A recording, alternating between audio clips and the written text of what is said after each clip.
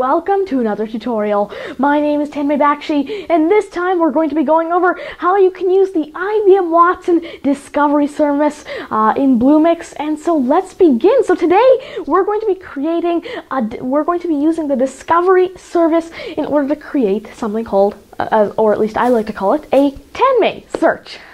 So let me actually begin by describing what this will do. Or uh, actually, let me begin by describing the Discovery service itself. So to begin, I actually just recently found out about a new service that the guys over at Watson released, uh, and it's a new data insight service for IBM Watson, uh, and it's a service called Discovery. Now it's currently in experimental, not even beta yet, it's experimental, uh, so there are a few uh, rough patches that they're still trying to work around, but it is publicly available on Bluemix. Uh, if you go to the catalog, you wouldn't be able to see it yet. You're to have to go to Labs catalog, and I'll tell you how to do that in the Mac part. However, essentially this discovery service is very, very neat. Let me actually show you what this does. So, oh, I dropped my marker. So uh, let's actually begin by uh, actually seeing what this does. So let's say we've got uh, our discovery service here. Right, we've got uh, discover, uh, sorry, discovery. Okay, so this is our discovery service. And let's say we've got some data, right? And so we've got a few HTML files, for example. So we've got 1.html, we've got 2.html, and let's say we've got also 3.html. Now, in practice, you actually have hundreds upon thousands of these HTML documents, and you would take this as your corpus of knowledge or corpus of data, and you'd feed this into Discovery. All right? And once you have all of your HTML files in Discovery, what's going to happen is Discovery is going to index through them. And it's going to, you know, organize itself and uh, understand these documents. And then you should be able to give it a query. And so let's say that our data was about me right? And so what I've done is I've created a Python script that actually goes to Google uh, using a Google API of the Google Custom Search uh, API. It'll use that API, and what it's going to do is it's actually going to grab a hundred HTML documents from Google about me, sort of like articles that contain the words Tanmay Bakshi. And so once we have around a hundred of those documents, uh, we're going to feed them right into Discovery. Uh, and once Discovery has those hundred documents, documents and once it indexes through them, which takes very, very little time, uh, then we can actually give it a query like, um, this, these are quotes, uh, when did Tanmay start coding? Right, so let's just say we give it, when did Tanmay start coding? Uh, or, you know, uh, we could actually write that a bit better. So what happens is we're going to give it a query. All right, and this query could be anything. Uh, in fact, it couldn't just be about that. It could be about my summer training. But let's just say, for the sake of simplicity, that we say, when did Tanmay start coding? Okay? So this is our query, right? And we send it into Discovery. What's going to happen in Discovery is then going to take all of these documents that we give it, and it's going to order these documents from most relevant to least relevant, and it's going to give us the most relevant documents that are related to this um, query. So let's just say that this is the order just coincidentally descending or coincidentally 231 uh, could really be whatever um, and so what what's happening here is, let's say 2 is the most relevant to this query, uh, and 2 contains a paragraph in it that says Tanmay started coding at 5 years old. What would happen is it would re realize that that's the most relevant, and it would bring it to the top. Now, something really remarkable about Discovery is that, well, don't all search engines do this? Well, no, Discovery is different. It's different in the way that even if it doesn't say that Tanmay Bakshi started coding at 5 years old, but it says, let's say, uh, Tanmay Bakshi is currently 12 years old. Uh, he has built applications with IBM Watson, and he started coding at 5 years old, or he began to code at 5 years old, it would still understand, because of that, you know, it knows that, it knows the context, it would still understand that it's very, very relevant to when did Tanmay start coding because of the sentence or the paragraph's context. And so, of course, that's what Discovery is going to help us achieve today. And so, without any further ado, let's head right over to the Mac part now, where I'm going to be showing you how you can use this new Discovery Service in Bluemix. Uh, and so, of course, uh, we're going to be, of course, as I said, using that Python script in order to download 100 documents uh, of really anything. In this case, I've said Tanmay Bakshi. Uh, we're going to feed those into Discovery. We're going to then give Discovery one of our queries, and Discovery should then give us uh, results uh, ordered uh, by relevance.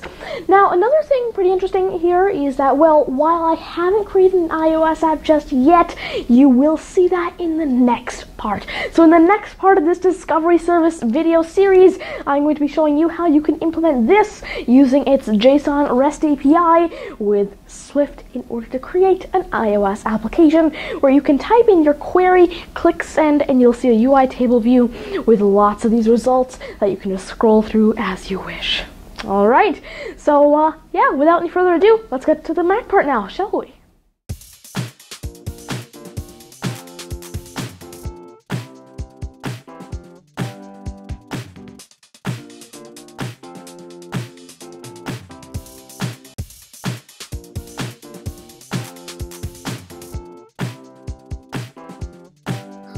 Alright, so now let's begin the part where we essentially go to Google and grab a lot of data to actually feed into Discovery. So let's begin. Uh, as you can see over here, if I open up Finder, uh, I've got this folder here, uh, and as you can see, I've got 100 HTML files. And these HTML files uh, essentially contain, well, quite simply, if I just uh, click space on one of them, uh, as you can see over here, it just shows me a lot of text, and this text uh, is essentially just you know uh, the uh, sort of uh, the content of the Google document that we are extracting. So what we do uh, is we take a document from Google, uh, we take the link from that, and then we send that over to Alchemy Language, and Alchemy Language extracts a lot of text from that link, and then that text is put into an HTML file along with the title. and so if I just show you, as you can see, that we have a lot of these HTML HTML files uh, about me. Okay, and so essentially, uh, that is what we're going to be using as our corpus. But in order to actually grab all of that data, I've created a very simple Python script, uh, which if I show you over here, it's called scrape.py. Uh, and so what it does is just uh, imports urllib, JSON, and sleep from time, and then it creates a lot of URLs. And these URLs essentially uh, have uh, lots of Google search queries. Here, as you can see, I'm using the Google Custom Search Engine API uh, and I'm searching about me on the entire internet uh, 10 times, and each time I get 10 results. Uh, 10 times 10, that's 100, so we're getting 100 final results. Uh, and of course, if you see over here, I'm using another parameter. Uh, apart from just the query being Tanmay Bakshi over here, I'm also setting the exact terms to Tanmay. So if it doesn't contain the word Tanmay, it won't give me that article back, or it won't give me that uh, URL back, uh, so that we only have uh, you know, uh, search results uh, that contain my name, so it's actually very relevant. Uh, once that's done, I just, uh, of course, uh, open up all those URLs, and once we open up all those URLs and read string values from them, uh, we load those into JSON.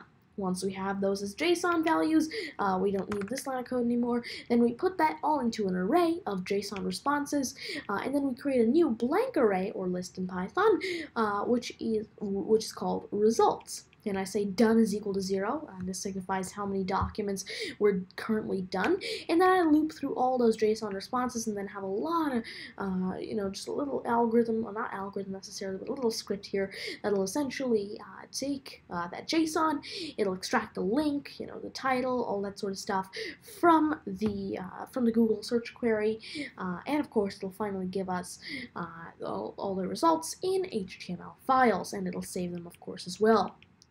Now, of course, I will be having much more detailed documentation about how you can actually use this script, not only use it, uh, but how you can, you know, how it works, that type of thing, on GitHub. So this will be as a separate GitHub, this will be on a separate GitHub repository, uh, which will be in the description below. And that is how we garner our data, or sort of, you know, scrape out our data uh, from Google in order to use with this application. And so next, though, uh, I will be showing you the next step of the process, which is, of course, actually taking this data and feeding it into Discovery. So let's get right into that part now.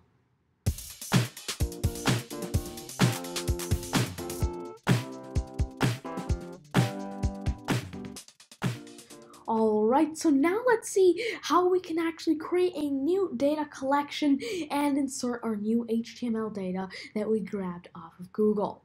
So let's begin with going back to our discovery tooling and clicking on create a data collection. Once you're at the screen, type in a new data collection name. In this case, I'll call it Tanmay. Once you're done, make sure that you keep the default configuration. This is for simplicity for now, but in a future video we can always see how we can create our own configuration with Discovery.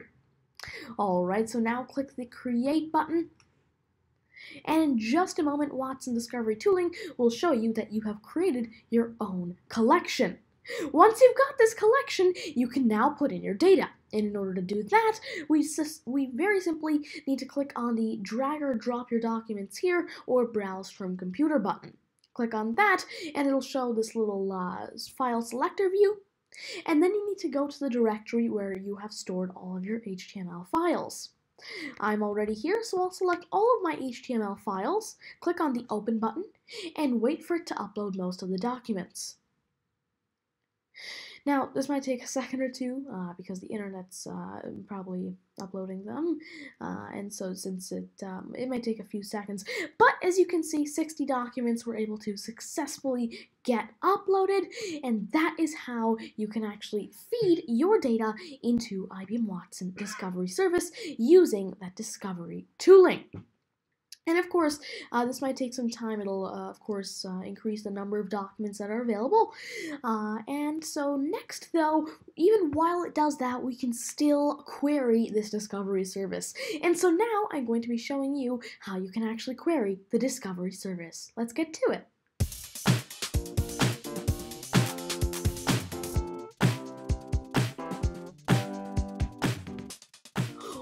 Alright, so now I'm going to be showing you how you can actually query this new Discovery collection that you have created.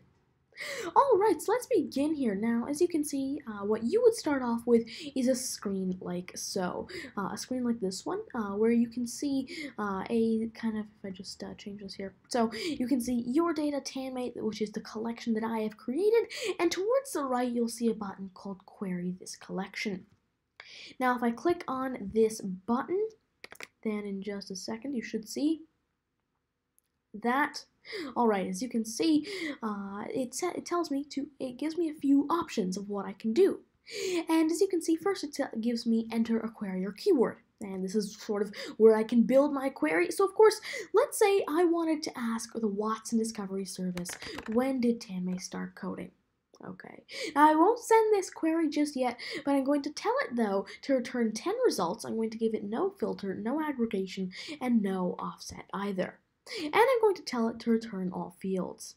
In a different video, I'll be telling you exactly what all of this means, but in case you were wondering, there will be a link to the documentation of the service down below as well. Now, let's say I click on the Run Query button. In just a second, towards the right, you can see the results. And it's currently loading, but right as it gets a result, or it gets the results from Discovery, it gives it to us. And let's take a look at the top result. So the title here is Meet 12-year-old Tanmay Bakshi, a software developer, author, and dot dot dot. Now let's actually take a look at the text of this article or uh, Google search result. As you can see, it says, me 12-year-old Tanmay Bakshi, software developer, etc., etc., etc. Um, meet Tanmay Bakshi, an Indian origin preteen from Brampton, Canada, who started coding. Okay, as you can see, it says, meet Tanmay Bakshi, an Indian origin preteen from Brampton, Canada, who started coding when he was just five years old. Okay, now this sentence has a lot of twists and turns, and it gives you a lot of different information. It tells you that my name's Tanmay Bakshi. I'm a preteen from India, or I originate from India. I currently live, live in Brampton, Canada, and I started coding when I was five years old. And the gap, or the gap between the two phrases, meet Tanmay Bakshi and he started coding when he was five years old, is absolutely huge. And the stuff that came between it, that's a lot of information. But what Watson Discovery does is it doesn't do a word search that it, usually what would happen with some sort of search engine, it would look for Tanmay started coding at five years old. However, with that IBM Watson Discovery, it's looking for the same context and really anything that's related to when did Tanmay start coding. For example, it would prioritize a document that talked about I created my first app at nine years old.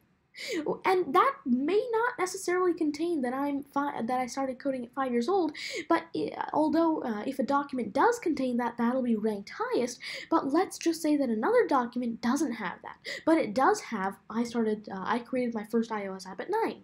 It would rank that document higher than a document that highlighted, for for example, let's say my summer training with IBM. And so it's trying to find documents that are more contextually related to your query so that you get much more relevant results. And of course, if we were to give this time some time, this service some time to actually index uh, and of course uh, optimize itself, it would become even better. If we were to put in more documents and give it more time, uh, I really do believe that this could actually be great uh, for a sort of cognitive search engine, I guess you could say. Alright though, uh, that's actually going to be it for this video though, but if you'd like to see how you can create an iOS application with all of this new stuff that you just learned about the IBM Watson Discovery Service, please do tune in to part two of this video series where I'm going to be showing you, as I said, how you can create an iOS application to list out discovery uh, results in a UI table view with a query given to you on the screen. Alright though, but that's going to be it for this video. Of course, if you really did enjoy this video, uh, please do make sure to leave a like down below. But if you think this could help anyone else you know, then please do consider sharing the video as well. Of course, if you have any suggestions, feedback, or uh, comments or questions, uh, please do consider leaving that down in the comments below, emailing it to me at TajyMany or tweeting it to me at TajyMany. Of course, though, if you really like my content and you want to see more of it, please do consider subscribing to my channel as well, as it really does help out a lot. But anyway, though, that's going to be it for this tutorial today. Thank you very much. Goodbye.